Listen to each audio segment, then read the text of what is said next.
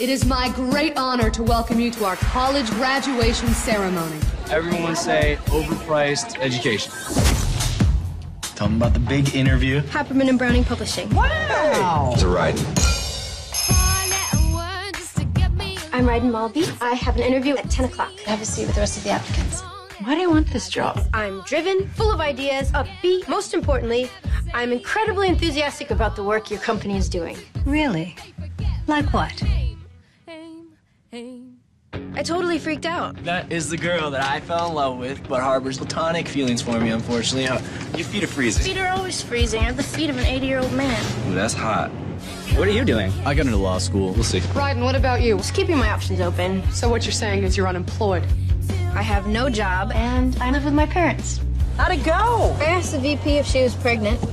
No, she was just fat. Oh. This is not the way it's supposed to go. You're not supposed to come back when you've already left the nest. No, I don't want your pity hug. Come on. Or no tail screw up. Shut up. Maybe you're setting your sights too high. Where do you think I should be setting my sights? Eye contact. Remember? We talked about it. Ah! Are you staking out the place or what?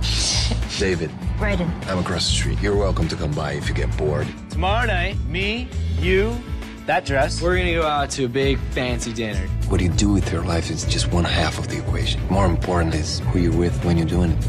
Oh my god, I completely forgot. For dinner. Let me explain. What exactly needs explanation? The song is for someone I care about a lot.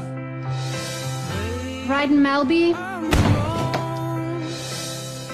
Do you want to hang out later? I decided to go to Columbia. You're going to New York? This whole post-graduation thing is not turning out the way I planned. The world's a screwy place. It doesn't play by the rules. Do you think I'm making the right decision? Alexis Bledel, star of The Sisterhood of the Traveling Pants.